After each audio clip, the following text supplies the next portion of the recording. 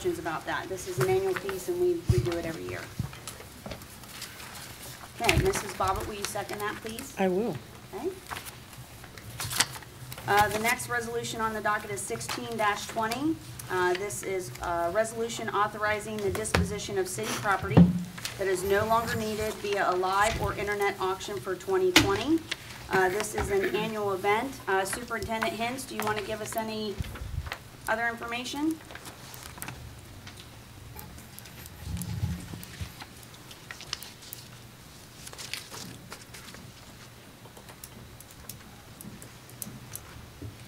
Good evening. Um, Annual piece of legislation we do every year. Um, Last year worked out real well for us. Uh, Largest auction we had, I think we were about 178,000 uh, return on everything we sold. So very good auction, got a good auctioneer. Moving forward with this one, or moving forward for this year, uh, third- third Saturday of July, I believe. But uh, you'll get emails here shortly. Okay, any questions for um, Superintendent Hens? Okay, Mr. Stent, will you second that, please? Oh, um, three readings? Okay, thank you. Uh, the next resolution is seventeen twenty. Uh, this is a resolution to allow the city auditor to request an advance of funds from Fairfield County of the city's apportionment of tax settlements for twenty twenty. This is an annual piece. Auditor Nettles, would you like to provide some dialogue? Yeah, this is something that we're required to do, uh, to give to the county auditor in order for me to request cash advances on our real estate settlements. Um, so I'd like to have that in two readings if I could. Okay, Mrs. Bobbitt, will you also second that? I will do that. Thank you. Uh, The next ones are resolutions 18-20 and 19-20.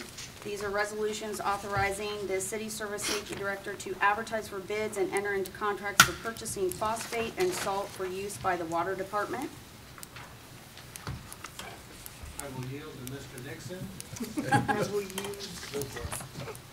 Members of Finance, City Council, these, uh, again, are annual pieces.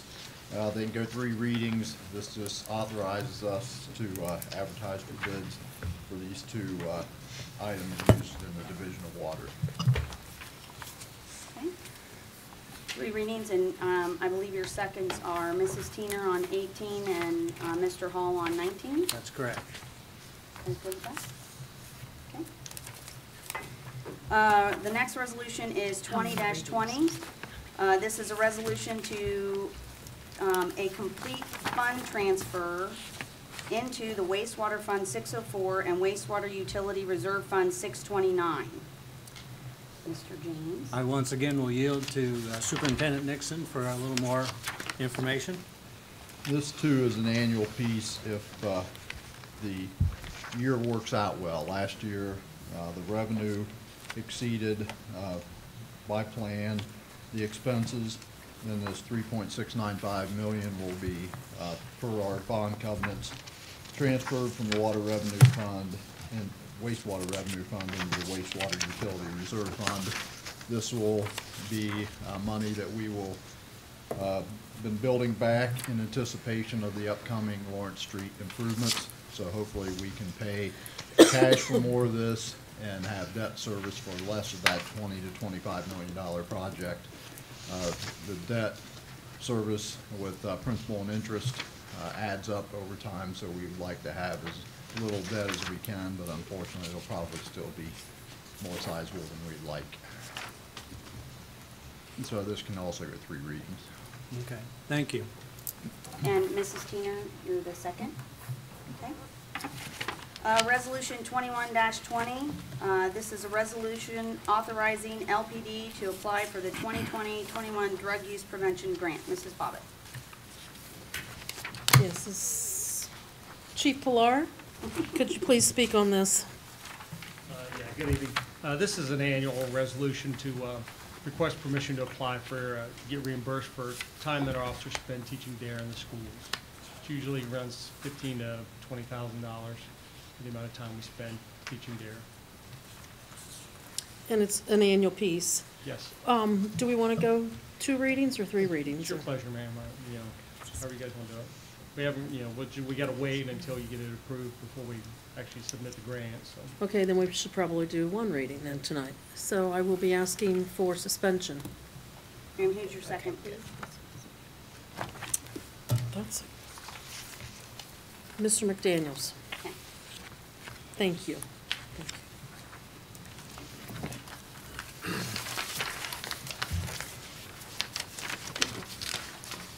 Next resolution is twenty-two twenty, uh, coming out of Public Works. This is a resolution authorizing the City Service Safety Director to enter into an agreement with ODOT to purchase sodium chloride rock salt for the 2019-2020 winter season.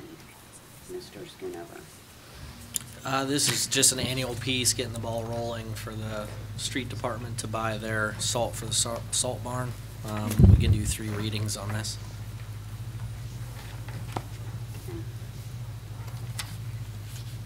Any questions, Mr. Hens?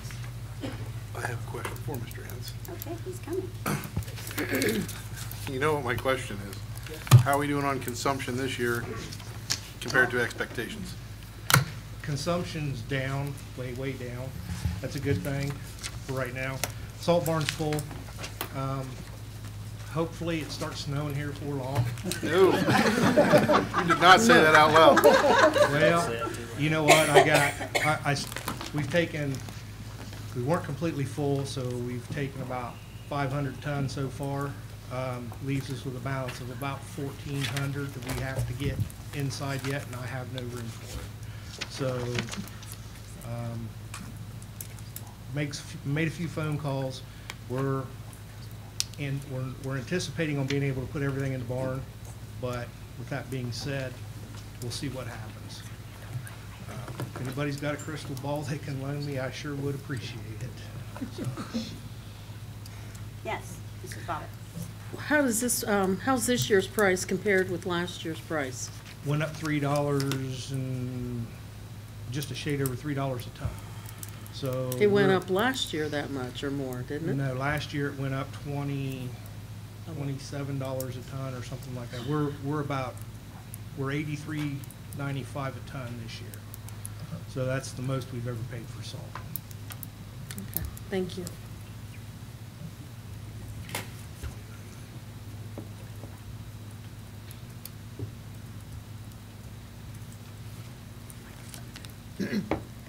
Sorry, taking notes. Oh, okay.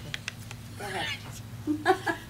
So I don't, don't remember if you mentioned, so what about storage then? Will we be able to use somebody to help us store, like we have in the past? I've made a few phone calls, uh, I've talked to uh, Berne Township trustees where we've stored in the past.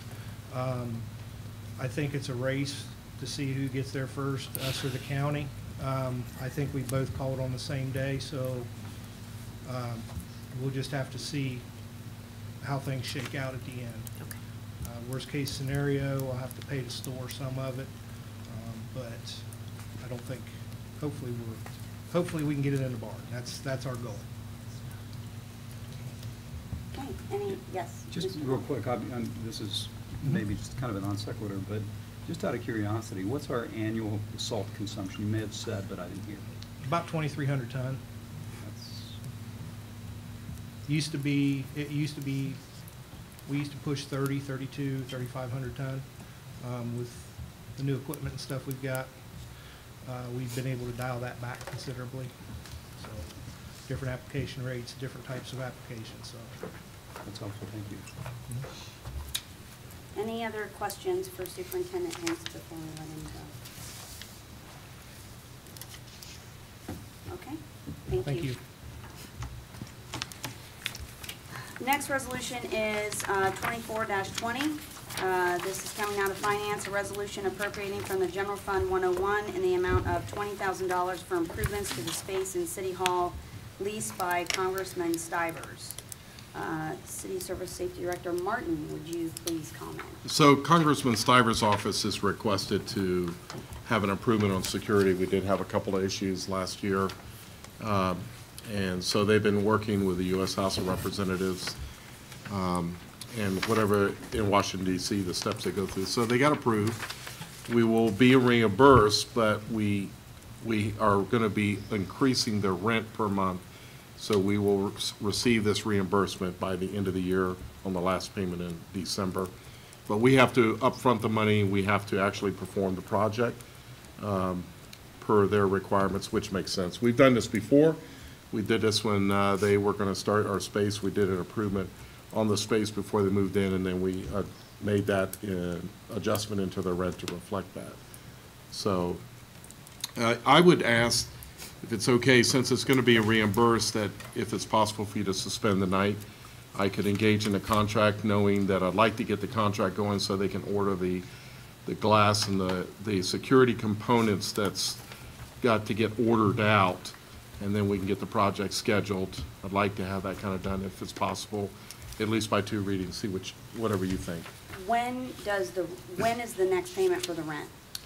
Well, I got Treasurer Wolfinger working on that for us, It- and The next payment will be uh, March, and I believe she's made arrangements. What they're gonna do, is they're gonna take the bid amount, divide it by ten months at this point in time. Whatever's left? Right. If Okay. it doesn't get in, it'll be nine months, but it'll all be paid back by the end of the year. So if you authorize this tonight, I will engage in the contract. We have a bid just under nineteen thousand. We're asking for twenty. Whatever we don't use, we'll just go on and cover it back. Um, So uh, I- it would be great if you could do that tonight and I can engage. And that way, they wouldn't have to pay it back over nine months, but they could do it over ten months.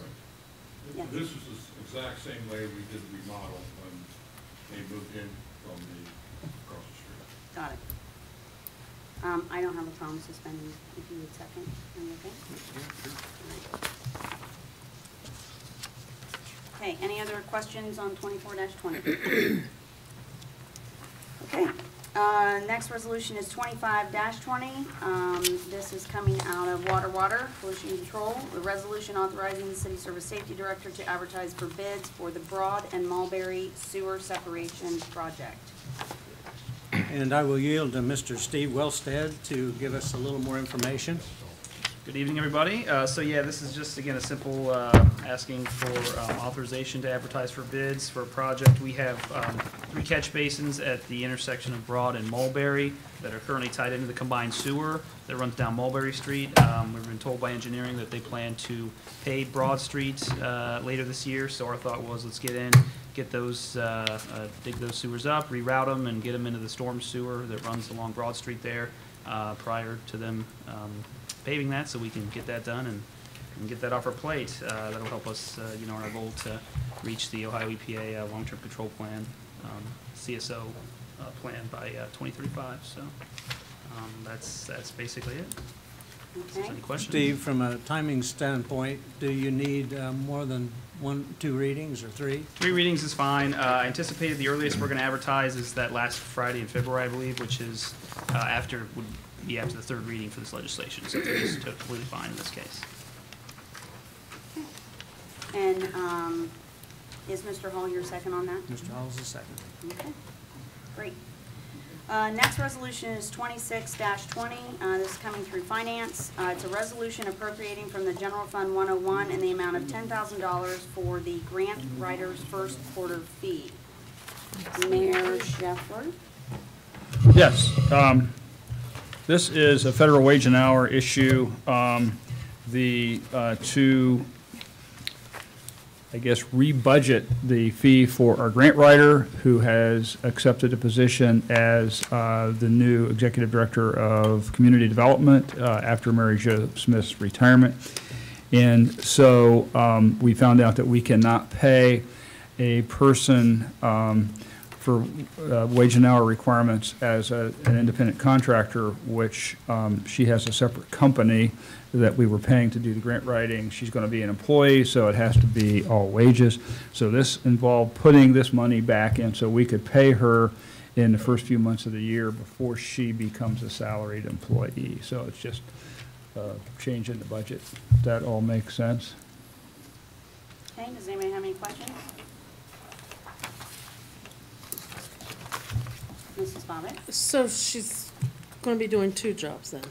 Well, she is going to be the new community development director, and she will continue to also write other grants that she's been doing so far. So it will all be under salary going forward after she starts as an employee instead of as an independent contractor basis. Okay, thank you. Any other questions? Mrs. Tina? But the CDBG is paid out of that. That Yes. is paid out of that. Right, so, um, not out of this ten thousand dollars. Correct. It's But paid. she's got, that's a separate, That's separate, that's correct. So this is the separate portion for grant writing until she becomes a salaried employee. okay. Oh, and we would like to suspend, since she's been working um, so far this year and hasn't gotten paid. Okay, um, so we will ask for suspension on this, and Mr. Stoughton, will you be my second? Yes. Okay, any other questions before we move to the next one? All right, uh, ordinance two twenty, uh, this is coming out of Public Works. Uh, this is an ordinance to amend the transit pay ordinance for twenty twenty. Mr. Schoonover. Uh, yep, uh, Carrie's on her way. Miss Woody's gonna explain this piece. Thank you, Mr. Schoonover and uh, members of council. Um, So, as you know, we've transitioned under the city for public transit, and through the transition, we're learning. Um, So one of the things that I had overlooked when we were putting our plans together was, we are open from six in the morning until ten at night. And I planned for every position, um, with the exception of the lead operator. We have a lead operator that works the morning shift, but we didn't have one to cover the evening shift. So myself, I've been staying, I've been working from seven thirty until around 6:30, 7 o'clock at night every day because I've been trying to cover the lunch break for our PM dispatcher and as drivers are pulling in in the evening and doing some gate checks and things like that. Um, so we really need a second lead operator to work those later hours, to work like a 9:30 to 6:30 or a 9:30 or a 10 to 7 type shift, so that they can cover that PM dispatch um, for the lunch break for the PM dispatcher, and then some of those safety-related things like training and uh, gate checks and things for those evening drivers. Um, Our proposal is that we would just take one of the part-time driving positions that we've already have and make that into a full-time position. It will not cost, it won't add to our budget, it will fit into this year's budget um, without us having to go back and reappropriate anything at this point. Um, I don't foresee needing to reappropriate anything for the entire year, even by making this change um, to add that second lead operator. Yes, Ms. So in other words, what we authorized in the budget that was going to transit, that's not going to raise? That will not change, correct? Okay. Okay, thank you. Any other questions? How are, with hiring in that, um, we- we've lost anybody or anybody since the So we've, we've lost a couple people. Um, so, for example, so Ride Right did things a lot differently. Um, they had a lot of full-time drivers that only worked 30 hours a week. They had s- uh, several part-time dispatchers that just worked random hours. So when we structured it, we wanted to be more like a business model. What are the hours? What hours do we need covered? Now, granted, I did overlook that second lead operator, and that's totally on me. But so we had when Ride Right, when we had to transition going from basically two and a half dispatchers, two full-time and then one part-time dispatcher to do Saturday dispatching, um, the person that we hired for the Saturday dispatch, um, they didn't really want to work Saturdays. They had usually only dispatched from six to ten PM, Monday through Friday, and they really didn't want to have to do a Saturday, and they didn't want to drive. So they worked basically one Saturday and said, ah, I really don't want to do this, and then they quit.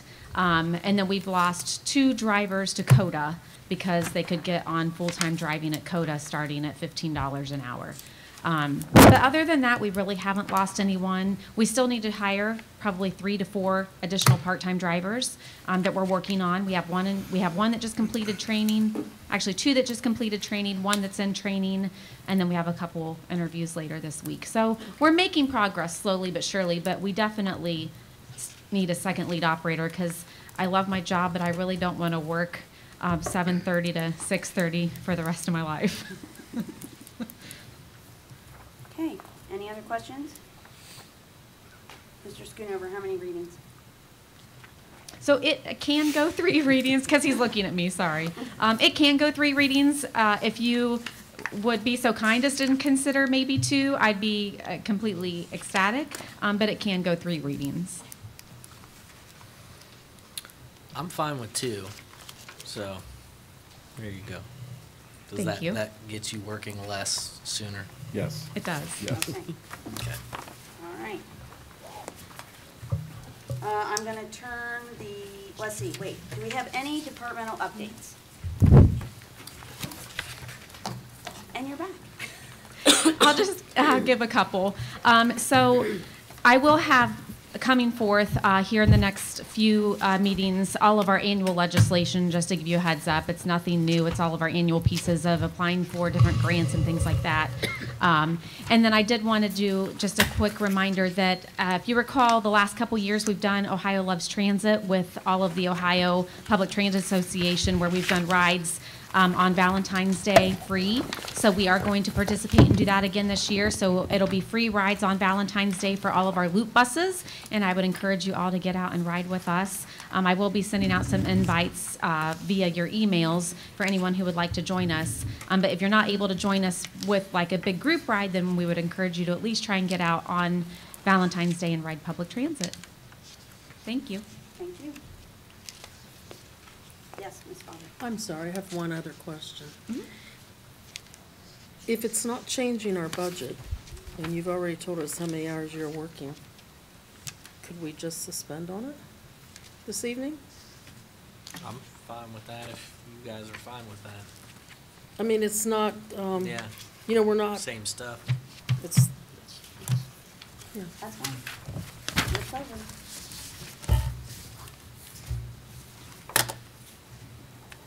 Okay. Yes, Mr. Martin.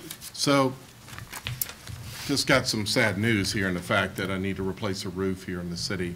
Some of you know about 121 East Chestnut Street. It's our city annex building next to the police department parking lot on East Chestnut Street. We've been working with, off and on for about three years, some leaks there. I've had two companies come in and do some core samples analyzing of it. And sorry to report, we're just gonna have to replace it. So I don't have any legislation tonight. I gotta get, uh, get that process ironed out. I would like to uh, bring in legislation next time. I say sad news because I'm gonna be asking for maybe hundred and eighty, eighty-five thousand dollars, hundred and eighty, I'm gonna say hundred and eighty-five thousand dollars right now. Gives me a little bit of contingency in there. And we're evaluating the quality of roof and that process that we go through. I really need to get this done probably in April or May to get into the spring season, uh, because we're having some issues right now. I don't want to even spend the three, four thousand dollars I need to maybe fix the leaks right now. But the roof is, uh, the insulation underneath is saturated. It's the second roof on there already, and when you get to the second level, you just got to take it off and you got to put a new roof on. And uh, I'm a proponent of trying to get uh, good materials, get a lot of longevity out of that roof. So just want to give you a heads up about it. And uh, yes, we have a lot of issues in City Hall, but I'm asking for funding for that building right now.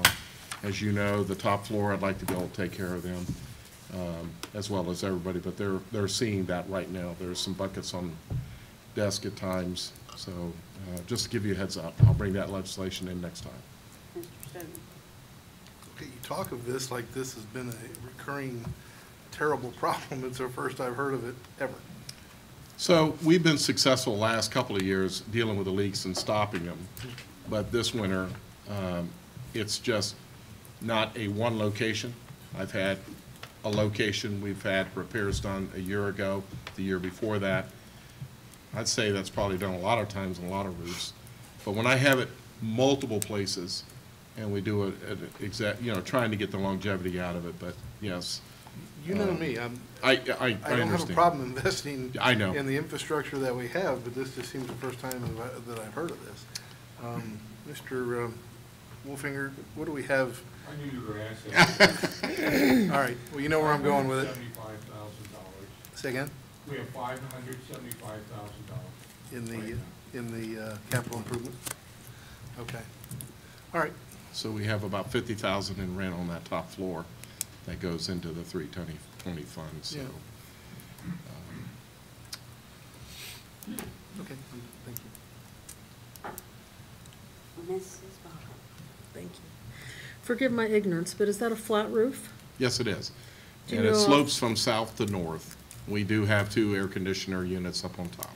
And we got a uh, escape hatch that gets you up on the roof on there, so. Okay. It's a, it's a steel on the trusses, it's a steel metal base. So we have two layers of roof on top of there, so, Okay, thank you. yes.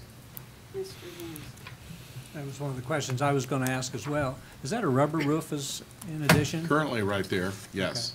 So I'm, I'm really looking at, we've had really good success with our roof replacements in the past. Mike Nixon has brought several in and, and looking at the longevity of those.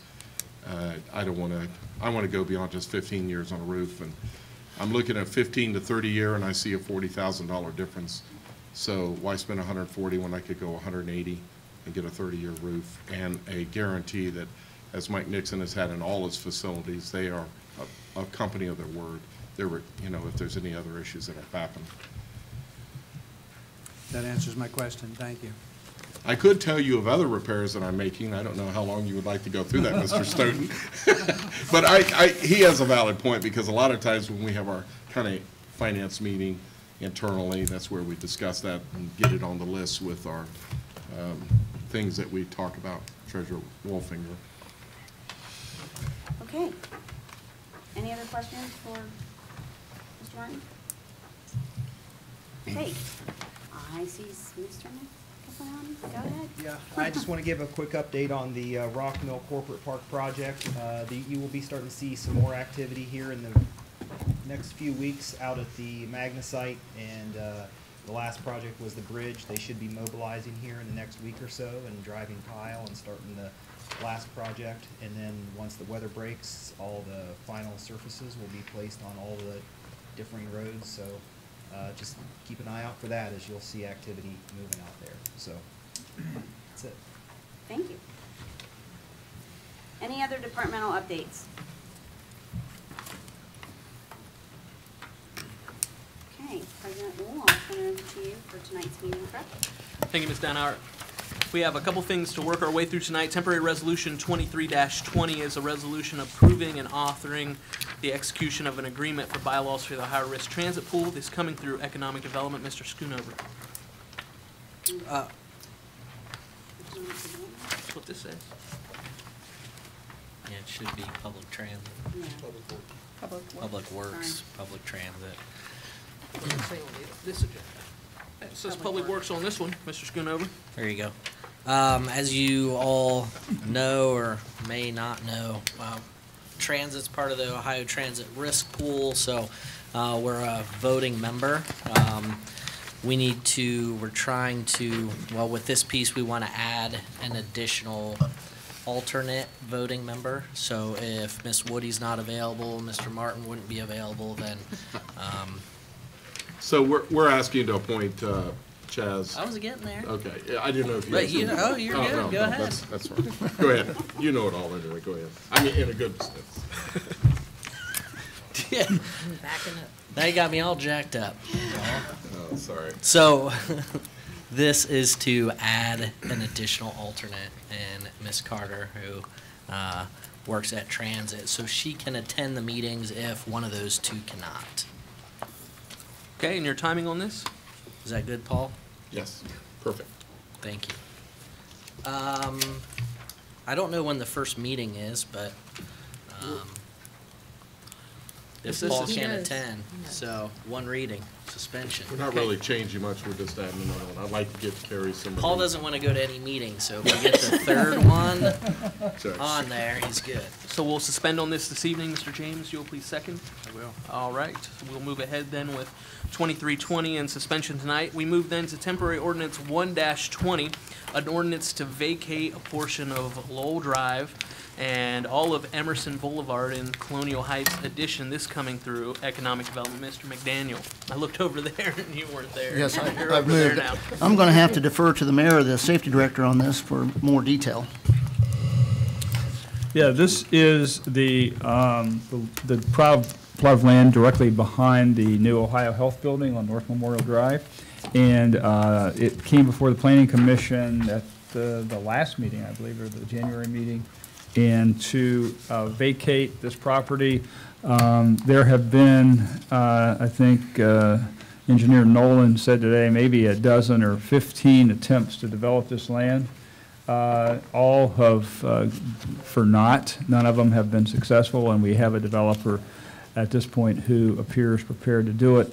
But this Lowell Drive kind of cuts that property in half, so they want to vacate that so they can build uh, what they plan to do. So Planning Commission has approved this, and now council has to approve it uh, in order for it to be effective. Thank you, Mayor, and I'll just note quickly that though this is a vacation, a public hearing on this is not required because all of the abutting property owners have uh, agreed and/or asked for this vacation to occur, and so we do not need to have a public hearing on this particular piece of legislation. Mr. McDaniel, you have anything further on this? It looks like uh, we'll have a first reading on it tonight, and then it, uh, it's being uh, recommended that go on the table until such time as other parts of the uh, process are completed. Is that right, Mr. Mayor? There was an email regarding, I, I believe that, I believe Engineer Nolan supports that Okay. position. Do you want to address that? Yeah, um, so d- during the planning commission, um, uh, hearing, and, and I reached out to all of the utility departments. We have some inadequate sized easements on our sanitary sewer that run through the property. Um, before we vacate this right of way, uh, we've asked the developer to, uh, give us adequate sized easements before that's vacated. Um, Additionally, beyond that, I think you guys probably received some kind of a letter from Mr. Mahalski regarding this. That's a different issue, and uh, I, I don't really, uh, it, it, it doesn't make any difference to me as far as whether we uh, hold up for the rezoning part of it. So the rezoning of this property is actually gonna be before uh, Planning Commission coming up in February thirteenth. Uh, It'll rezone, uh, currently it exists as residential single-family two, RS two. They're changing it to RM two with a PUD overlay, planned unit development overlay. Um, So I think Mr. Mahalski's letter probably states that we ask the, that the vacation doesn't happen until the actual zoning goes through as well, not just the easements. Um, I, I'm, I don't lean one way or the other, but that's, uh, that's what he's requesting, and, and there may be some fruit to that, um, you know, just making sure that we get what we need, what, and what we want there when, when those vacations occur. Um, So, that's, I think that's what, try to clarify the difference there, because there's some stipulations, letters A through H or something in the legislation, so. In the planning commission minutes, it was only about the easements. Yes. Right, it's fine. We just want to make sure that we're taken care of. Yes, correct.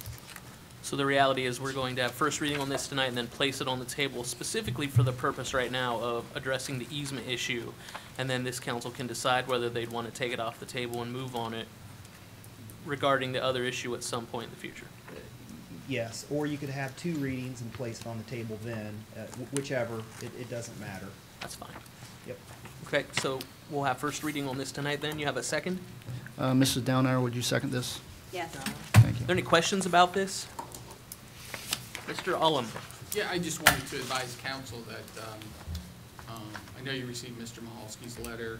Uh, I don't disagree with anything Engineer Nolan said. Um, Just to let you know, though, that um, the rezoning is not a requirement for vacation, just so you all know that, from a Ohio revised code standpoint. Thank you, Mr. Ullum. Further discussion or questions about this? So we'll have first reading on this this evening. I'll also quickly make note of our legislation. Uh, Temporary ordinance 32-19 will need to place on the table tonight. Um, Mr. Stoughton, is still under you as the, as the primary sponsor here, so once this is read the third time, if we can place that on the table until such a time that the uh, election takes place, and then we will deal with it appropriately at that point. Um, and then the other thing I'll just note is that in our last meeting, in discussions regarding Timber Top property, there was discussion about how we would not be taking this up for vote consideration until that second meeting of February. Uh, due to an additional timing stipulation that was, I think, just overlooked as we went through this process, uh, there was a requirement of 30 days and then an additional requirement of 60 days after that. So technically, it's 90 days. That will push any opportunity for us to vote on the timber top annexation legislation to our second meeting in March, which I think is like the 23rd or something. Is that right? Whatever that second one in March is, is when we will be pulling this from the table for, uh, for consideration. So just uh, a a note for council that that'll be the process as we work through um, the timber top legislation. With that, I'll turn it back to the chairwoman. Thank you, President Oles. Are there any other items to come before finance? Okay, I will entertain a motion to adjourn. Mrs. Bother? I would like to make a motion that we adjourn.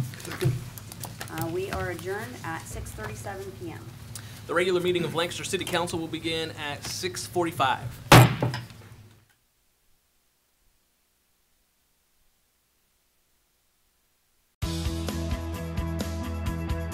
Almost everyone needs a car to get from point A to point B, and many families have two or more cars. At Carriage Company, located at 1031 North Memorial Drive in Lancaster, we specialize in hard to find used cars. Due to the recent success of the new car market, there is a large inventory of used cars available for resale. We can help you find exactly what you're looking for. With over 15 years at this location and 27 years experience in the business, we are the best place to go to find your next car, truck, van, or SUV. As a member of the Better Business Bureau, we are a Carfax Advantage dealer and offer great financing rates through a local area bank with warranties available on most vehicles. We know your time is valuable, so we take special pride in making sure that you get what you came for at a price that you can afford. Come into the Carriage Company and check out our sweet deals. Stop by today and let us help you or visit us online at carriagecompany.com. There is no place like Lancaster, Ohio and Fairfield County, and like you, I am proud to call them home. As a longtime resident of Lancaster and graduate of Lancaster High School, this community is important to me, and I want to provide superior customer service, professionalism, integrity, and honesty at the Connor Insurance Agency. I am committed to supporting local programs and projects through my volunteer work and board membership with several organizations. It has been a great honor to work with all the first responders throughout Lancaster, Fairfield County, and the state of Ohio to put on Kids and Cops Day, to be a part of Shop with a Cop alongside the Lancaster Police Department and JFS, and to help Lancaster Public Education Foundation raise funds to support our local public schools and teachers. These men and women work hard to protect and support our community, and I would like to take this moment to say thank you for all they do. My goal as a business owner and insurance agent is to provide my clients with the most appropriate services and coverage for their needs at a competitive rate. As an independent agent, I have several carriers to choose from so I can customize your insurance coverage to fit your needs and desires. I strive to make sure there are no gaps in your coverage that could be harmful and just as important that you are not overinsured. I look forward to serving your insurance needs now and in the future. At Connor Insurance, we are here to serve you by protecting what is important to you.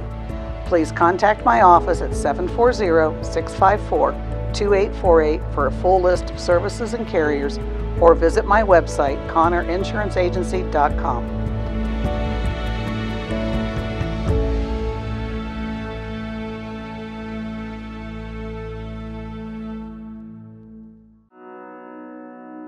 The Frankie Smith Funeral Home and Crematory in Lancaster and the Johnson Smith Funeral Home in Baltimore have a long and wonderful history of serving our community. feel free to give us a call at 740 653 0652. Stop in and see us at either of our two locations 405 North Columbus Street in Lancaster and 207 South Main Street in Baltimore.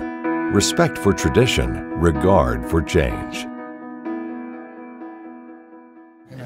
I hereby call this meeting of Lancaster City Council to order. Please rise and join me in the Pledge of Allegiance. I pledge allegiance to the flag of the United States of America and to the republic for which it stands, one nation, under God, indivisible, with liberty and justice for all. Thank you.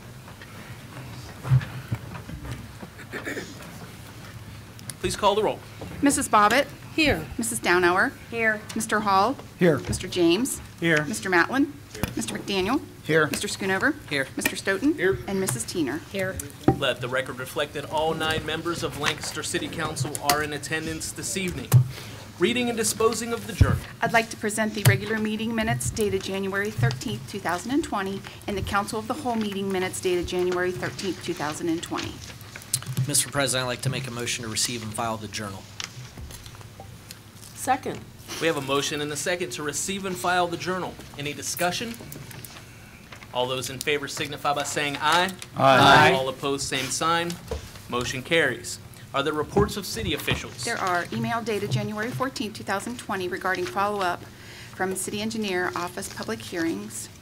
Um, Submitted by City Engineer Mitch Nolan, email dated January 14, 2020 regarding the signage on Columbus Bush Hill, submitted by Service Safety Director Paul Martin.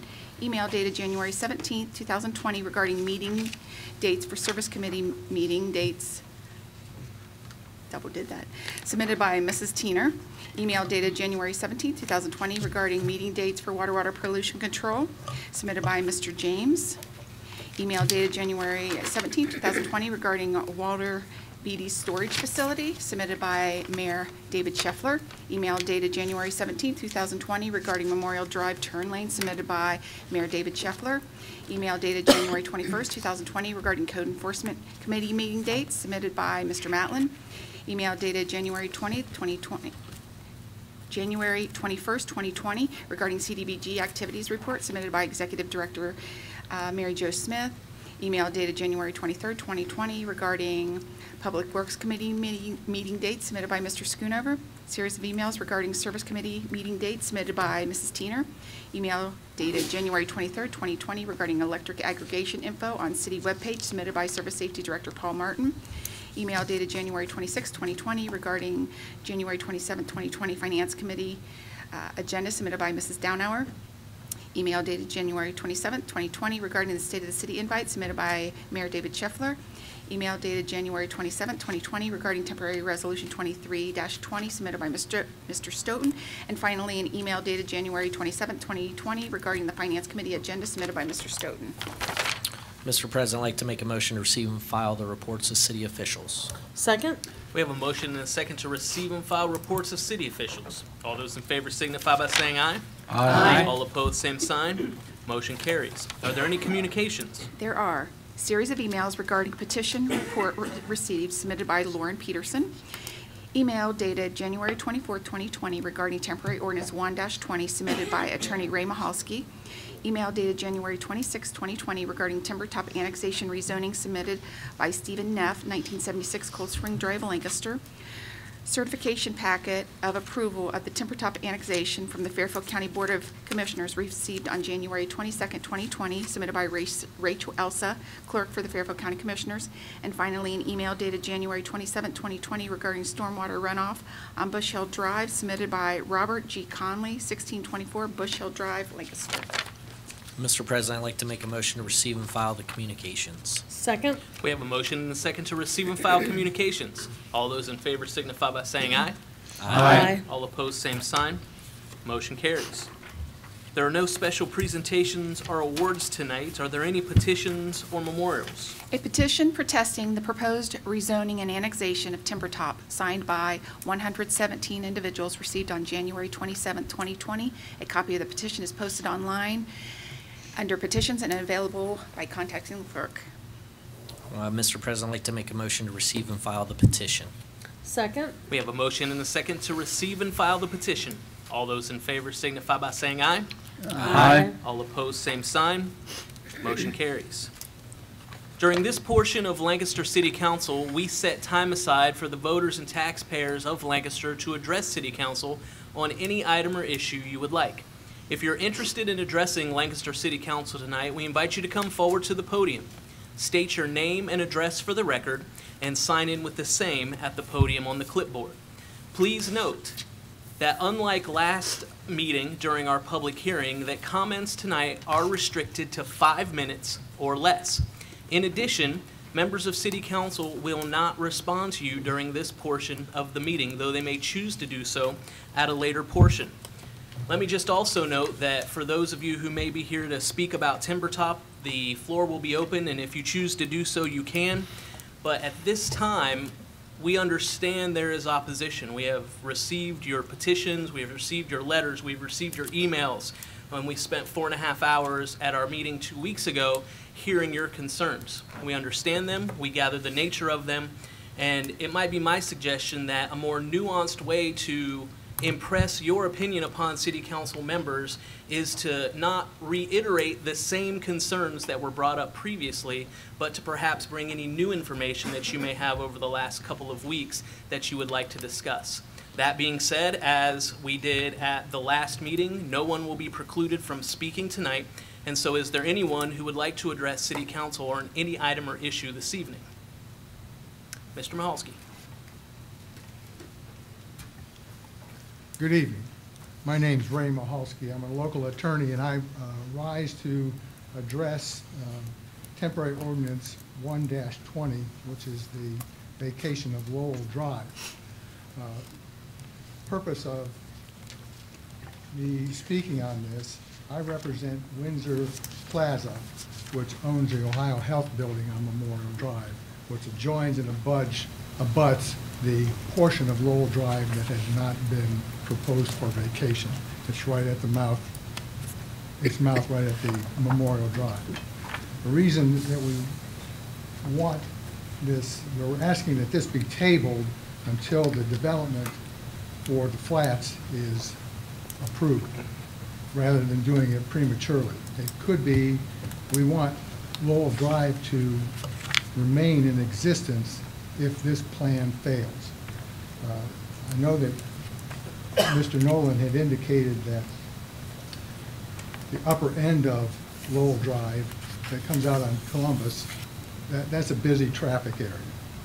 It's a busy traffic area on Memorial Drive too, and one way of handling that, if you take a look at the proposed plans, they've got a structure there for it to be just right in and right out. Same thing can be done on the Columbus, right in, right out. In addition, there was some discussion about the need for an expensive bridge at the Columbus end. I would just point out that that was not an impediment to platting it in the first place, and that alone should not be an impediment or not- be a reason for vacating, it, that you need an expensive bridge. That cost of that can be passed on to a developer, uh, and the right in and right out would alleviate the traffic concern uh, that Mr. Nolan, missed his remarks, but that he expressed to me about the traffic out of Columbus. Uh, We think that the, uh, that connector should remain in place so that if the present proposal does not get approved, that someone else could come by and make use of that. Because I think it's, I think it's a valuable asset, my clients think it's a valuable asset, and we just ask that someone make a, motion to amend the uh, ordinance, as I pointed out in my letter to council, uh, to provide for rezoning and the other things needed to approve the, the plat for the flats. I think there would be no harm in doing that. Thank you. Thank you, Mr. Mahalski. Yes, please be sure you sign in there. Is there anyone else who would like to address Lancaster City Council this evening? Yes, sir.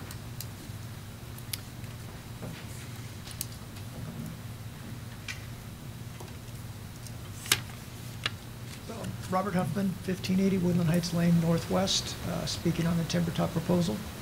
I've been warned by Mr. Ward that I must be very quick, and with your entry, I will do so. Uh, Much of this has been covered. but I really want to reiterate um, uh, our great concern now with more time to process to look into this is the fact that uh, each time the proponents, the Lemon Group has, uh, I guess, presented their proposal as to what they're going to be doing there, more and more changes. Uh, It's pretty obvious that they do not have a completed development. Uh, Many of these pieces will not be done by them. They will be sold off to other people which have been yet to be identified. Um, We're asking that all of the uh, zoning approval and the annexation not occur until after they actually present a more detailed and finalized development plan. Uh, That'll allow you to assess the number of units in there, what that effect will be on the city, on the residents in this area, and um, be able to better also then an- analyze the traffic study based upon what will actually be in there and not uh, a conjecture as to what may or may not be put in that space. Uh, Finally, we'd also like to um, find out what the cost to Lancaster will be with this development. And I think you need to know what they're proposing, what they're planning. We'll have to have them traffic-wise to be able to analyze that also. Uh, Finally, I have a question. Uh, I was told by several people, which I was not aware, and it has not been brought up in any of the discussion, that it is a requirement that there will have to be low-income housing in that area. And wanted to know if I could get an answer or a determination on that. Not during this portion of the meeting, you can't, but uh, at another time, the council members may choose to address you, or after the meeting, folks may be able to, to address that question. Thank you for your time. Thank you, sir. Is there anyone else who would like to address Lancaster City Council this evening? Oh, Ms. Burnside.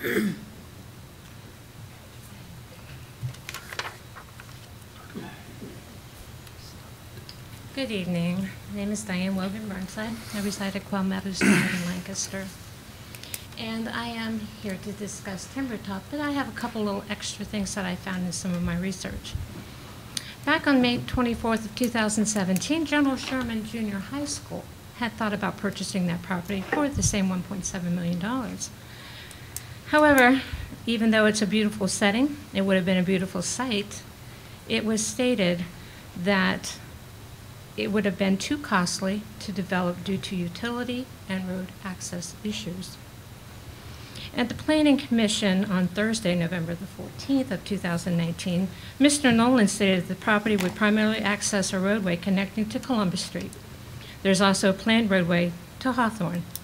And additionally, a street stub will be left at the north end of the property to tie into River Valley Highlands. If and when the rest of Section 13 is developed. Now, I believe I was sitting here in these chambers when the ending of development in River Valley Highlands has taken place because they have hit shell, and that particular section will not be developed. So, will I assume from that that there will be no access to River Valley Highlands from that particular area? I realized that there was a traffic study, but I have been unable to access that to be able to review what you've been given at the very last meeting. Um, Mrs. Collins asked at that zoning committee if this was going to be a proposed PUD, a planned unit development. And they said that it was not going to be using a PUD overlay. Now, if I understand correctly, a PUD overlay allows developers additional flexibility while developing the property, but the developers need to determine at the beginning of the process exactly how their site would be developed and must commit to that design if approved. However, without the PUD, developers have the ability to build whatever kind of development they want, as long as it's allowable and they comply with city requirements. So I have to also state that when they talked about tying it in to get to Tarhe Trail School, again, you're attaching to a part of the River Valley Highlands that will not be developed. So there will not be access to River Valley Highlands through that section. Um, I'm a little concerned with the fact that this property changed hands in December, prior to you even looking at this case and saying whether you're going to pass it or not. Um, they, when the developers were asked how they thought the development would look, and any of these details would come out prior to the approval, they were not available. At that time, Safety Service Director Martin stated that it's hard for developers to spend the time and money on final designs without zoning being confirmed. And again, it's interesting because they already own the property. Mayor Scheffler noted that some of the proposed facilities in this area originated from the city's economic development in an attempt to provide an area that could serve for various different city needs. The mayor has reiterated that they want to see it with a CG zoning so that if skilled nursing did not ultimately go into that site, it could be opened up to a wider variety of potential users. Now, I have to ask, did someone make promises to this development for them to change hands of ownership in December before you've even had a chance to vote on it, one way or the other? It was interesting that the meeting with the county commissioners who passed this to go in, Steve Davis said, there's no evidence of detriment to the township when he was asked why the commission approved the annexation. The evidence that we received was of potential deterrent to the city of Lancaster. And we were advised by legal counsel that that's not a consideration under statute. So I am stating that I would like for you to take a look at this very closely before you vote, because there's a lot of underlying issues that are suspicious to me. And there are four possible actions that can be taken. Approve as submitted, approve as amended, approve subject to modification, and denial. Please listen to the concerns of those citizens that live in this area, that have been paying taxes to the city of Lancaster for a long time, who vote and elect those that are sitting here. Well, some of you, we elect you. Other people elect some of you, others depending on your ward. And please answer some of the questions of suspicion of this project. Transparency. That is your time, Ms. Wogan Burnside. Vote for the best interest of those that live in the area. Thank you. Thank you. Is there anyone else who would like to address Lancaster City Council this evening?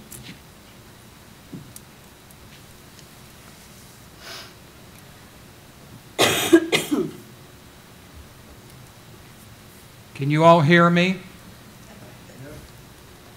I couldn't hear some of the comments, that's why I'm asking that. Uh, In certainly the past 50 years, perhaps more, a measure before Lancaster City Council to annex 76.877 acres into the city limits is huge. If passed on, now I understand it to be the second meeting in March, is that when the vote will be taken? No one's going to respond to you during this time Oh, as I'm given in sorry. the Well, instructions. I- That's what I understand. I'm sorry that I asked the question. If passed on uh, Mar, the second meeting in March, Lemon developers from North Canton will have incredible opportunities for commercial, multifamily, new homes, and commercial resi- residential to be built. Sounds great, doesn't it? Only a not in my backyard mentality would see reasons why this should not happen. It is great progress for the city, with, of course, tax revenue in the offering. But sadly, the city will be signing a blank check for years to come. A vote of no on annexation is a must, and there are important reasons why. First of all, as Bob Huffman said, we really don't clearly understand what the developers plan to do with the acreage. There is a large portion of, of timber top. If you have been to the property and looked at it, as I have, a large part of the tract of, of acreage is pasture. Pasture meaning grass. I wonder what's under that grass geologically. Could it be developed? Could other portions of that land be developed? Has Lemon done a geological study so we know, so you know what in fact can be developed?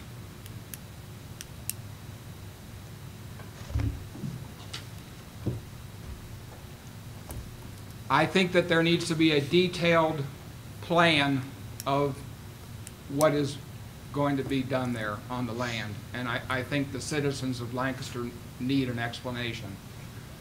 Um, Finally, in my last probably minute, uh, I would like to say that without this meaning a threat, but the legacy of this city council is,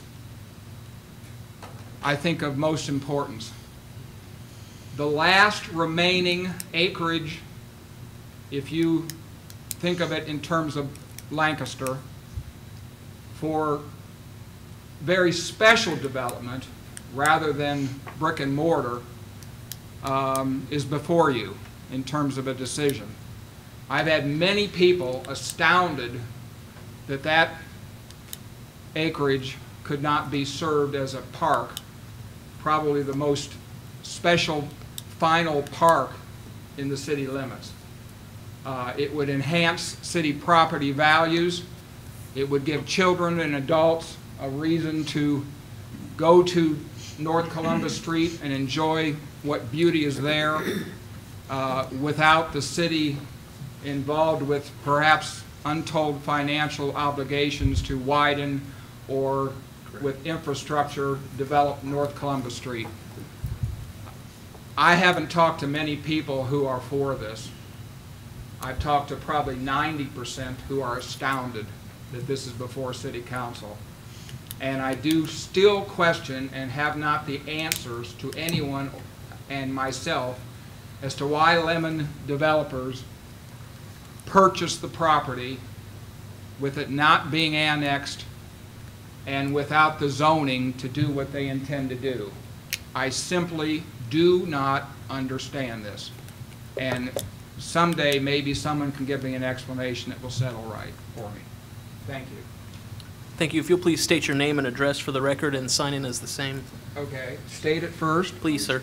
Oh, okay, it's Lauren Peterson, River Valley Highlands, 1101 Green Meadow Avenue. Thank you. I think Mr. Mahalski has the clipboard there if you wouldn't mind to sign in. Okay. Thank you, sir. Thank you.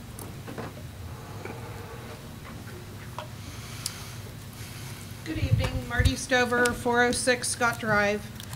I just wanted to um, encourage everyone in this room to come through my neighborhood, which is off of Whittier Drive, and just drive around. Look at what my neighborhood is. It's a quiet, peaceful area, one way in, one way out, no sidewalks. I would also encourage everyone in this room to go up to Old Ridge Court and look at where they intend on putting the stub up there and look at that neighborhood as well and see what detriment you are going to do to each community when you open those up. I was under the impression the other day, I had not been up to see the storage units yet. I was under the impression that the city was not, had nothing to do with these storage units. And to my dismay, I drive up the, the road and I'm like, what the heck?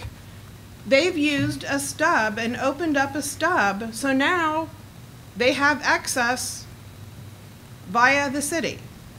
Now, how did that happen? I thought the city said, no way, we're not doing anything for you. We don't want you there. We don't, we didn't want you in the, in our city. So I, I, I have no words. So I encourage every one of you in this room to go up and visit these two neighborhoods that are going to be affected the most. Because I was astounded, especially in the River Valley area, at what is going to happen. And Hawthorne Drive is, I mean, we have no sidewalks in our neighborhood. I know we've told you this before. We, where are we going to walk? We have a school. Where are the, ki- the kids walk to bus stops, you know, in the morning? And now we're going to have thorough traffic going through our neighborhood with detriment to the, the kids walk, you know, standing there with the, you know, no sidewalks. I, I I'm I just get more confused the more I, I think about this. And the environmental study, I mean, there's wetlands over there. I- Are we allowed to disrupt wetlands? I thought wetlands, when they happened, were, you know, against the law, that you couldn't, do anything about it. My daughter went to, lives on um, Cold Spring Drive, went out to get in her car the other day, and there was um, an egret bird underneath her awning on her, on the side of her house because she has a creek beside. That we have all kinds of wildlife. You're going to take all of all that away when all this building starts. I just want everyone just to realize once we start this process and it goes through, there's no turning back. So I encourage everyone to visit the sites that are going to, if you're not familiar with the neighborhoods, to please, please check them out. Thank you. Thank you, ma'am. Please be sure you sign in. Thank you so much. Is there anyone else who would like to address Lancaster City Council this evening?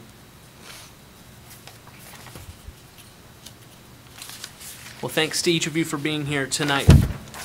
Are there reports of standing committees? There are none to be presented. There are no reports of special committees, and there are no public hearings scheduled for this evening, so we'll move to the reading of resolutions, beginning with the third reading of temporary resolution 145-19. A resolution to authorize the Service Safety Director to advertise for bids and to enter into a construction agreement for the improvement project known as the 2020 Street Improvement Paving Project, offered by Mr. Schoonover, second by Mrs. Bobbitt. Mr. Schoonover.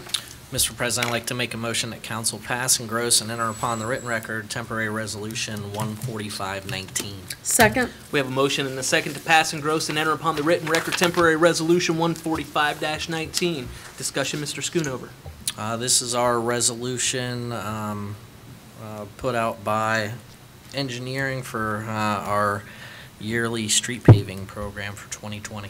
Very good. Further discussion on the motion to pass? Please call the roll.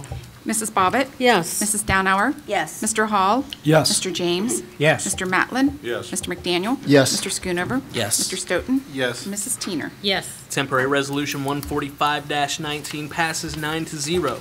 Temporary Resolution 146-19. A resolution authorizing the Service Safety Director to advertise for bids for the Memorial Drive Culvert Repair Project, offered by Mr. Hall, second by Mr. McDaniel. Mr. Hall. Yes, Mr. President, I would like to make a motion that council pass and gross and enter upon the written record temporary resolution numbered 146-19. Second? We have a motion and a second to pass and gross and enter upon the written record temporary resolution 146-19. Mr. Hall. Yeah, this is um, basically a rebid of the culvert project um, on uh, Memorial at the intersection of, um, I believe, Whittier, where uh, Pier 1 is. Um, The previous bid came in higher uh, than what we had expected or what was allowed for, so we're just rebidding uh, that project. Thank you very much, Mr. Hall. Further discussion on the motion to pass? Please call the roll. Mrs. Bobbitt? Yes. Mrs. Downhour? Yes. Mr. Hall? Yes. Mr. James? Yes. Mr. Matlin? Yes. Mr. McDaniel? Yes. Mr. Schoonover? Yes. Mr. Stoughton? Yes. And Mrs. Teener? Yes. Temporary Resolution 146-19 passes nine to zero. Temporary Resolution 149-19. A resolution authorizing the mayor to enter into a LPA federal local let project agreement with the State of Ohio Department of Transportation for the purpose of construction of the FAI CR 5404.90 Fair Avenue roadway improvements, High Street to Sheridan Drive, offered by Mr. Schoonover, second by Mrs. Bobbitt. Mr. Schoonover. Mr. President, I'd like to make a motion that council pass and gross and enter upon the written record temporary resolution 14919. Second? We have a motion and a second to pass and gross and enter upon the written record temporary resolution 149-19. Discussion, Mr. Schoonover. Uh, This fantastic piece allows us to get moving on spending some state dollars on repaving uh, Fair Avenue from High Street to Sheridan Drive, which we should all be jumping up and down for joy. True indeed. Further discussion on the motion to pass? Please call the roll. Mrs. Bobbitt? Yes. Mrs. Downhour? Yes. Mr. Hall? Yes. Mr. James? Yes. Mr. Matlin? Yes. Mr. Mr. McDaniel? Yes. Mr. Schoonover? Yes. Mr. Stoughton? Yes. And Mrs. Teener? Yes. We get a little jump, Mr. Schoonover? There it is. All right.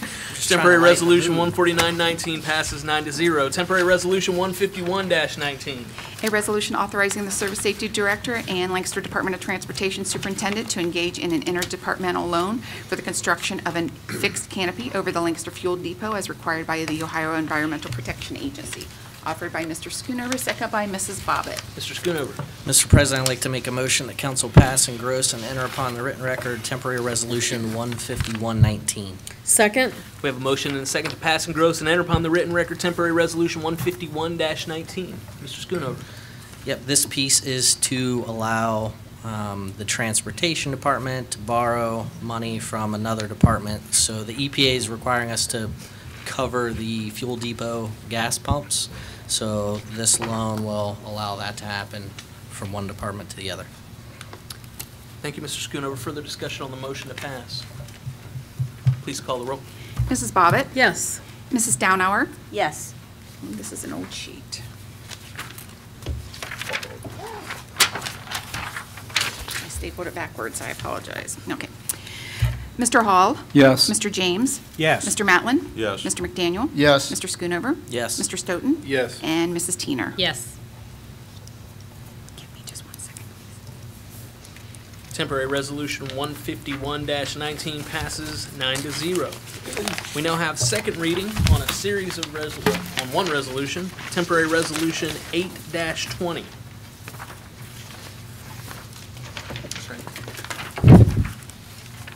You don't get that. A resolution to decrease increase appropriations in the General Fund 101, offered by Mrs. Downhour, second by Mrs. Bobbitt. Ms. Downhour. Second and three readings, please. Second reading on temporary resolution 8-20. We now have first reading on a series of resolutions, beginning with temporary resolution 15-20. A resolution authorizing the Law Director's Office to apply for the Violence Against Women Act grant, offered by Mrs. Downhour, second by Mrs. Bobbitt. Ms. Downhour. First of three readings, please. First reading on temporary resolution 15-20. Temporary resolution 16-20.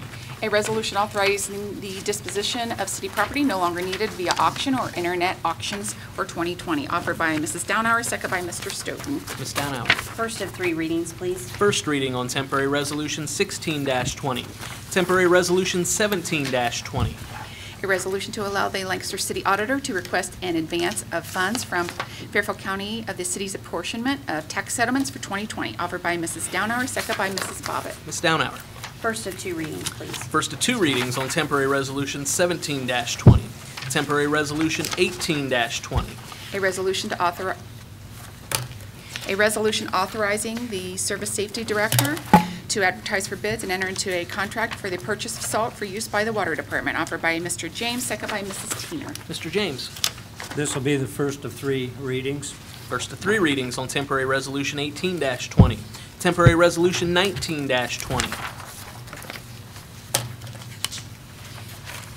A resolution authorizing the Service Safety Director to advertise for bids and enter into a contract for the purchase of phosphate for use by the Water Department, offered by Mr. James, second by Mr. Hall. Mr. James. Once again, first of three readings. First of three readings on temporary resolution 19-20.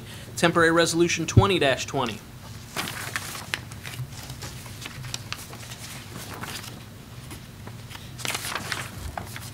A resolution to amend the certificate with the county auditor, appropriate from the unencumbered balance, increase receipts, and complete a fund transfer in the wastewater Fund 604 and in the wastewater utility reserve Fund 629, offered by Mr. James, second by Mrs. Teener. Mr. James. Once again, this is the first of three readings for this. First reading on temporary resolution 20-20. Temporary resolution 21-20. A resolution authorizing the Lancaster Police Department to apply for the 2020 through 2021 Drug Use Prevention Grant, offered by Mrs. Bobbitt, second by Mr. McDaniel. Ms. Bobbitt. Thank you. Um, We heard from Chief Pillard during finance. Um, This is pretty straightforward, um, so I don't think we need to call him up right now unless he wants to come up. He wants to.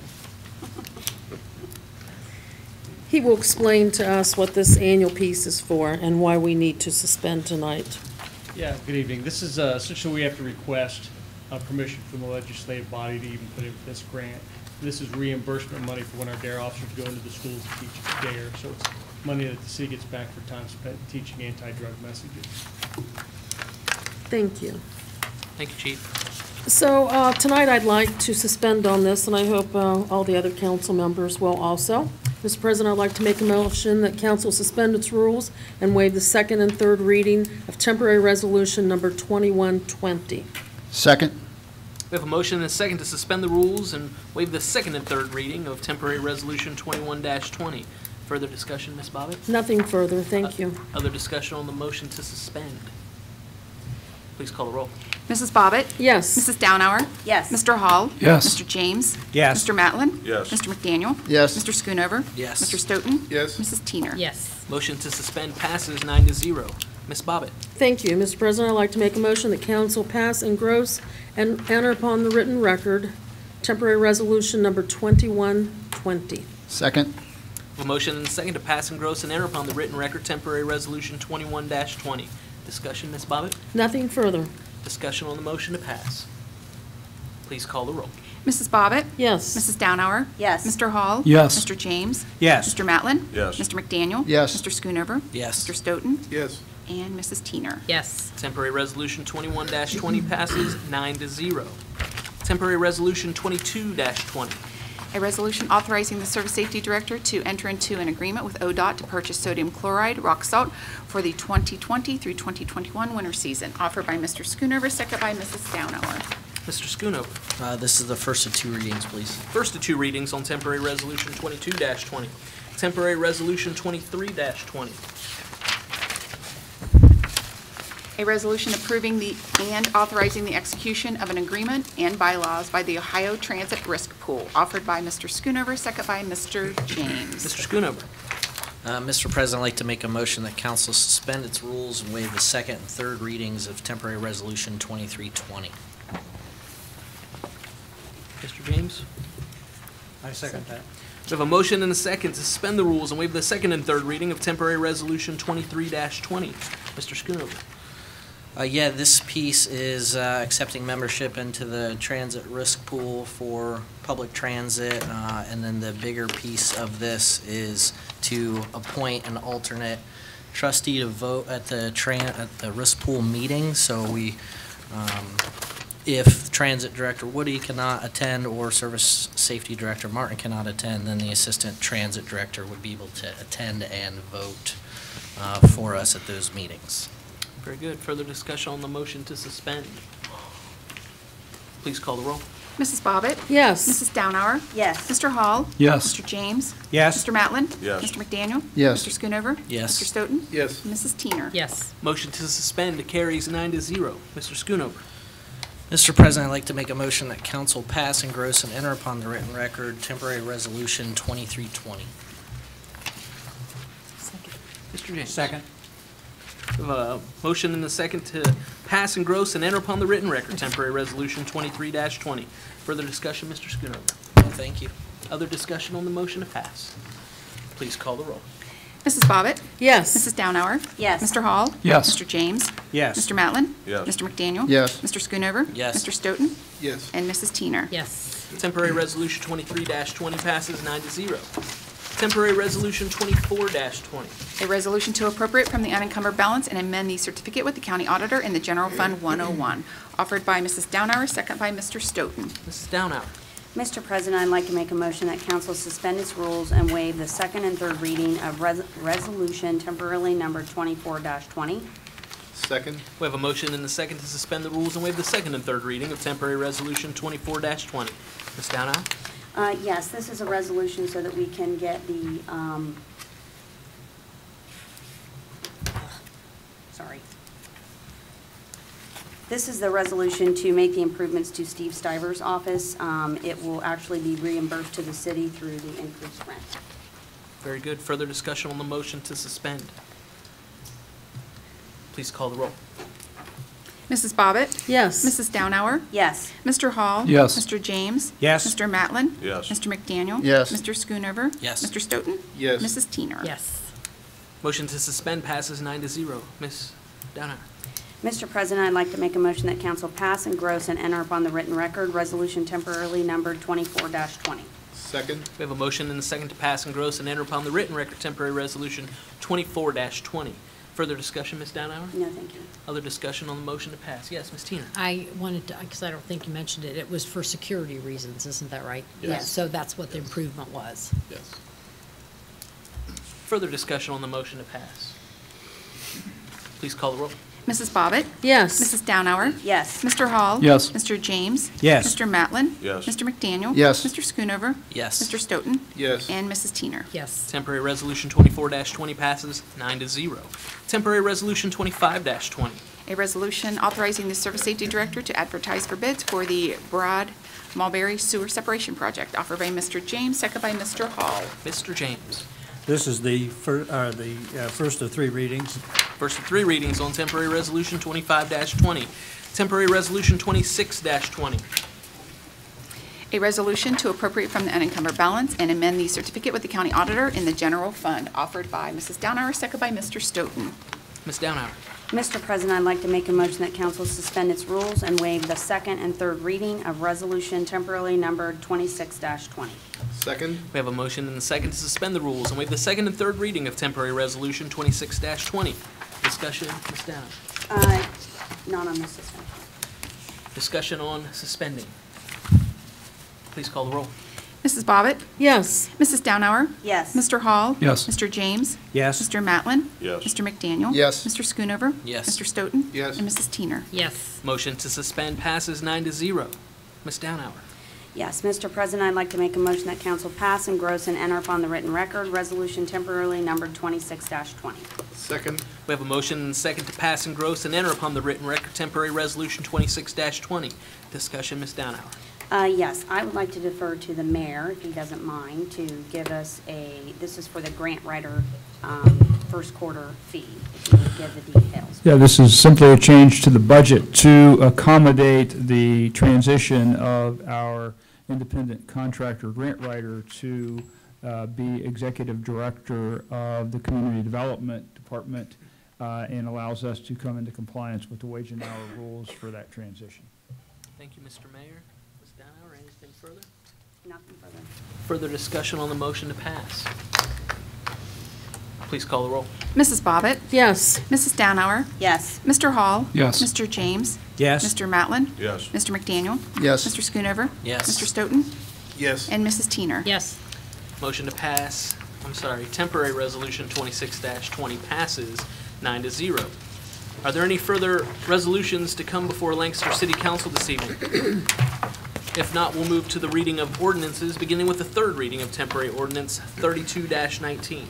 An ordinance to amend section 183.012, 183.013, and 183.002 of the codified ordinances of the city of Lancaster, Ohio in order to provide for the levying of an additional 45 hundredths of 1%, 0.45% income tax effective January 1st, 2021 on the salaries, wages, commissions, and other compensations subject to the municipal income tax with all such tax to be used for the purpose of operating, maintaining, repairing, and providing capital facilities for the fire and police department for the city and to declare an emergency, offered by Mr. Stoughton, second by Mr. McDaniel. Mr. Stoughton. Thank you, Mr. President. I would like to make, to make a motion that council place ordinance temporary 3219 on the table, please.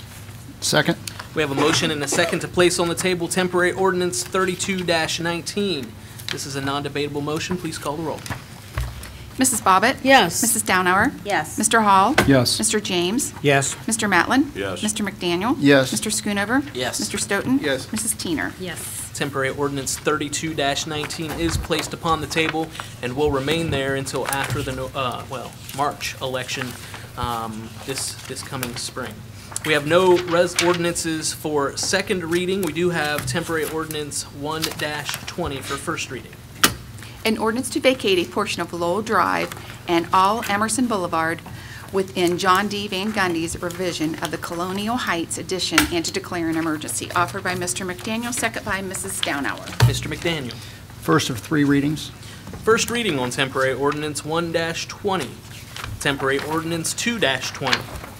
An ordinance to amend ordinance twenty-five nineteen, repeal and replace existing twenty-five nineteen, and declare an emergency for the transit pay ordinance, offered by Mr. Schoonover, second by Mrs. Downhour. Mr. Schoonover. Uh, Mr. President, I'd like to make a motion that council suspend its rules and waive the second and third readings of temporary ordinance two twenty. Second? We have a motion and a second to suspend the rules and waive the second and third reading of Temporary Ordinance two twenty. Discussion, Mr. Schoonover. Uh, yeah, as brought up in, um, finance, as we transition, uh, transit over, um, we found the need, Transit Director Woody's found the need for a second lead operator with not only our extended hours, but, um, you know, having everything in-house. So this is gonna add a second lead operator, get, uh, Director Woody back down to somewhat normal working hours schedule. Um, and then it all fits within, uh, their current budget that we've already approved, so there's no new money here. Further discussion? Yes, Mr. This is a question for Engineer Nolan again. I'm sorry, I don't mean to make you come back to the podium.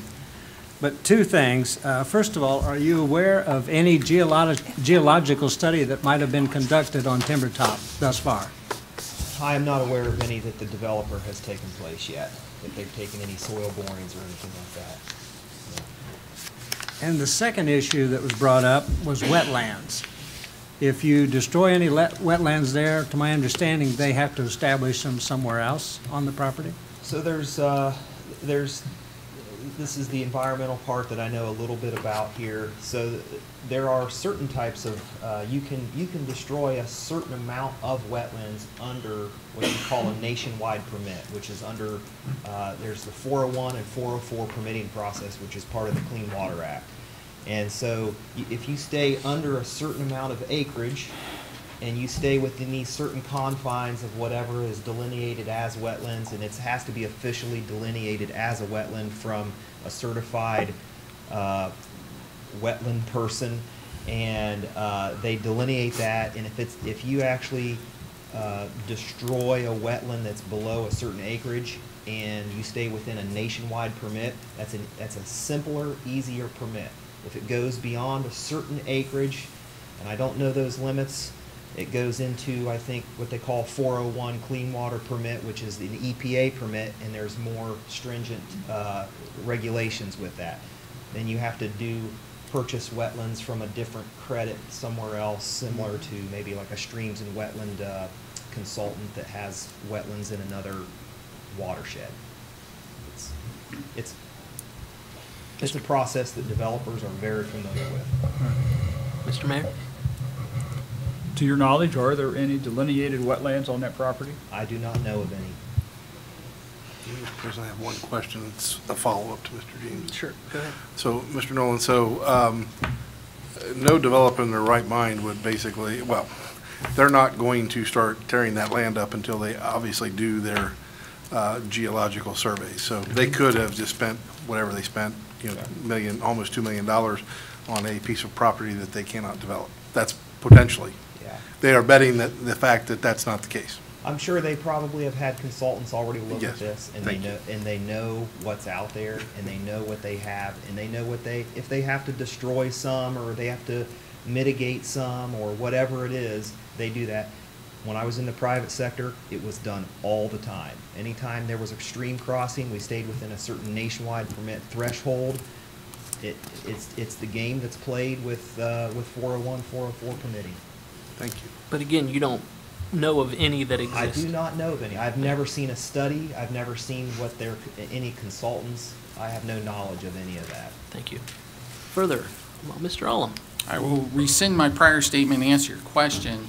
Um, We can, the township zoning can continue on until the city establishes new zoning. The annexation, you mean? Uh, I'm sorry, the annexation, I'm sorry. So, yes, if that should happen, that, you know, the, the property is annexed into the city, but the, um, ordinance establishing zoning, um, would fail, then, uh, It's the whatever it annexation is. has still occurred or whatever, and they can still work on the zoning. Thank you, Mr. So, yeah, and so you, what you're saying is then zoning is whatever it is currently? Zoning would continue as what the township has Right. as. Got it. Very good. Thank you. That was quick, Mr. Ullum. Very Yeah, you're good. welcome. Yeah. Yeah, very good. Ms. Bobbitt. Well, it was back to my original question. So, so if the zoning portion didn't pass, then I said, does it have to go back to planning committee then? Yeah, a- again, if it would fail here, the only thing, I mean, off the top of my head, you have the motion for reconsideration, um, is a possibility at the next meeting of council, but if that were to fail, then yes, back to planning commission. Okay. Dana.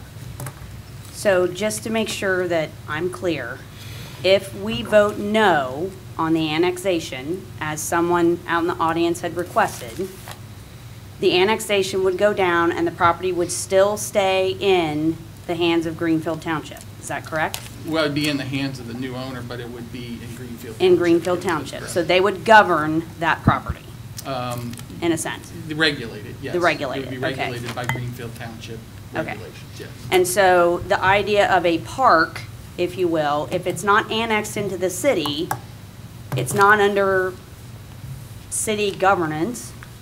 That's correct. So in reality, it wouldn't be a city park, Uh, right? That, that's correct. Uh, Well, yeah, that's correct, yes. Okay. Yes, that Just is wanted to correct. make sure. Yes. Thank you, Ms. Downhour. Further discussion? Yes, Mr. Mr. McDaniel. I just have one comment. I thinking of the question we were asked earlier uh, that we couldn't answer, and, and I- this is not an answer. But uh, the only people that know why they purchased that property and closed on it in December would be the seller and the purchaser. No one else would know. We can all speculate as to why someone may have done something, but I would ask the Lemon Group why they purchased that property and closed on it. They would be the only ones with the correct answer. Think that's a great suggestion, and, and, uh, yeah, because no one here is gonna be able to say why they did what they did, so. One- One final comment. Yes, Mr. Toad. So, Mr. Allen, just because you're the legal scholar and legal guidance here, I'm not going to throw a curveball at you. So Greenfield Township, in theory, could, if, if we didn't, if we didn't annex in and we didn't uh, approve uh, zoning for that annexation, Greenfield Township, I mean, they could basically still do the same development in Greenfield Township, is that correct?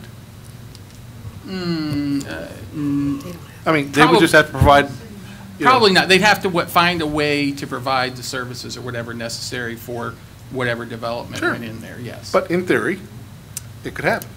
Uh, Possibly, I guess, possibly, yes.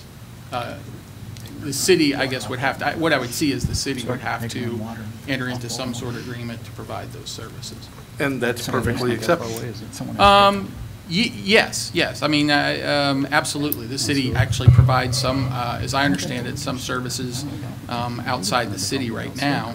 Um, the other thing too is, it's my understanding, uh, from the utility departments that, um, you know, since this is an island of Greenfield Township surrounded by the city, um, that utilities going through that property would give, I guess, the gas department, Mayor, you can correct me if I'm wrong on this, but the gas department, maybe the water department, some um, redundancy, as I understand it, or whatever, to uh, loops, is that? Loops. Am I, am I Loops, correct in correct. that or whatever? So, so I mean, that would, something that also benefiting the utility might play into the provision of those services. Okay, thank you. You're welcome. Yes, Mr. Mayor. I might add that uh, the city declined to provide water and sewer services to the Beatty Storage Unit, and Greenfield Township went ahead and approved that, and apparently the construction is ongoing. So that enterprise has found some way to get services out there, and I would suggest that maybe the same thing could happen uh, with the Timber Top property. Very good. Mr. Schoonover. Just to piggyback off of those, because I had brought up the Greenfield Township thing last time, I did look at the last, or one of the Greenfield Township trustee meeting, their set of minutes, and they, they did bring up Timber Top and the utilities, and, you know, even if it were to cost that, they were, you know, if it, they're three quarters of a mile away or something like that, could cost them two and a half million dollars, but if, I mean, we're all sitting here figuring, none of us in this room would take a one point seven million dollar flyer on a piece of property you don't know if you can develop, but if they're willing to take that flyer, then it's not really a far leap to say, hey, Greenfield Township will pay the two and a half million dollars if you can get us utilities. Because then that backs up to Diane uh, brought up earlier, you know, Lancaster City Schools was looking at that property to purchase, and then they changed their mind, and that's because they realized that developing it with the utilities needed would be too expensive, and, you know, they're spending public dollars, so that comes into play a little more than private companies, uh, again, taking, taking million-dollar flyers. I mean, it, it's, that's, that would be my concern is if we have no control over it, what's gonna happen? Thank you, Mr. Schoonover. Further unfinished business this evening?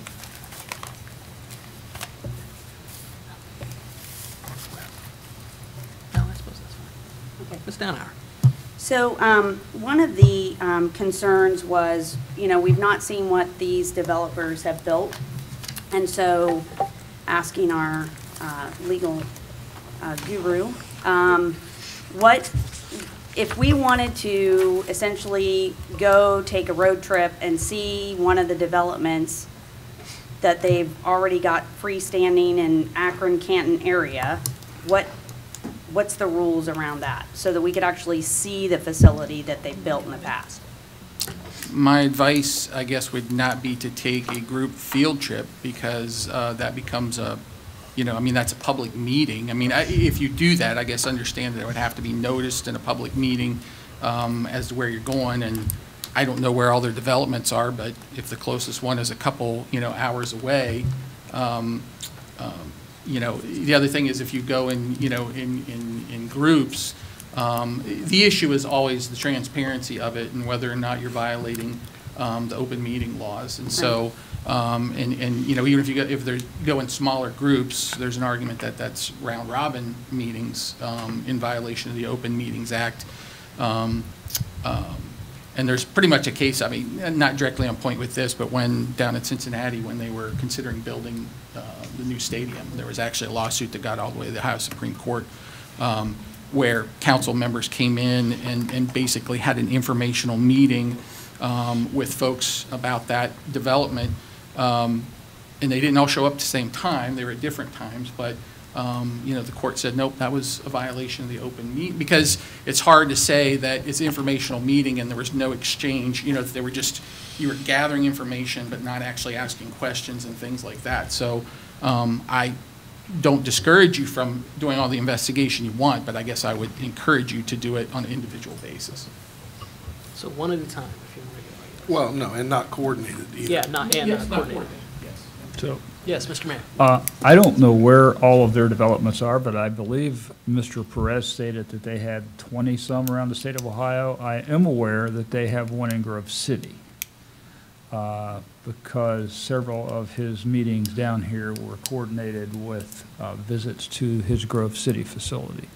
So I don't know where it is, what the address is, but I'm sure Mr. Perez could probably provide that information. Okay. Be a lot shorter trip. Yes. Thank you, Mr. Mayor. Thank you, Mr. Allen. So what, whoa. Thank you, Ms. Stanley. Yes. So, I know what you just said, but I remember when the Roxton Ravine thing was going on, and I said, you know, reach out to the guy and whatever individually, and you sent out this email, don't meet with this guy. Remember that, Then for the Roxton Ravine thing, when you wanted to put the gas station in, you said, don't do it. You were uh, get- totally against doing that, and we shouldn't do it, because even, you know, In reference, everybody was going to do it, you know, was a suggestion, again, as I stated earlier. I know, Round- but- Round robin, But it would have been meeting with him individually. I mean, it was one of those, it, it's, so there's really no I'm, well, clarification, I'm not saying meet with him, I'm saying go drive to the facility and just, Well, that's a public thing. Anybody can do that. well, I, that's what I'm asking. But I'm just. just not as a oh, group. Right, can't do a exactly, group. but It's a I- public when I thing, but don't do it suggested as a that group. before, you had said that wasn't, Don't get a public transit bus and take a road trip. well, and you know, and you know, I wouldn't, you know what, I didn't mean that either. Yeah, and, and, and I, I- again, I would say it's like, yes, I mean, you know, um, meetings and things like that or whatever, my suggestion would be that, um, um, if, if you're looking for some information, I guess I would suggest that, uh, if the developer, uh, is willing to provide information, that they can submit that through the mayor, the service safety director's office, and then that can be, you know, provided to council or whatever. It's just, again, just, you know, you want it to be all transparent and above board. I haven't looked at their website, but I'm guessing if you go on their, the Danbury website, you can find the location of their facilities around the state. Very good, thank you. Yes, Mr. Schoonover. Better yet, I think during the public hearing, they mentioned that a specific, one of their specific developments, if you looked at their website, that's what they would be considering. So, The Danbury, if I remember. yeah, That is. that's what they're thinking, but again, we're not, the plans aren't even close, so now we're, we're all sitting here speculating like everybody else, and who knows? Okay, further unfinished business this evening? Is there any new business this evening? If not, we'll ask that the clerk read our upcoming scheduled meetings. February 10th, 6:30 PM here in council chambers, and again, February 24th at 6:30 PM. Upcoming committee meetings for the next 30 days. Code Enforcement and Zoning, February 3rd at 8 AM, City Hall 1897 Conference Room. Service, February 7th at 7:30 AM, City Hall 1897 Conference Room. Finance, February 10th at 6 PM here in council chambers. Water, Water Pollution Control, February 12th at 8 AM at the Water, Water Pollution Control Conference Room. Law Committee, February 12th at 9:30 AM at the Fairfield County Municipal Court Community Room. Public Works, February 14th at 7:30 AM at Transit Conference Room. And finally, uh, Finance, February 24th, 6 PM here in council chambers. Very good. Are there any bills this evening? There are none to be presented. Is there a need for an executive session? If not, a motion to adjourn is in order. Mr. President, I'd like to make a motion to adjourn. Second. We have a motion and a second to adjourn the meeting. All those in favor signify by saying aye. Aye. All opposed, same sign. Motion carries. We are adjourned. Please remember to sign your legislation. Have a great night.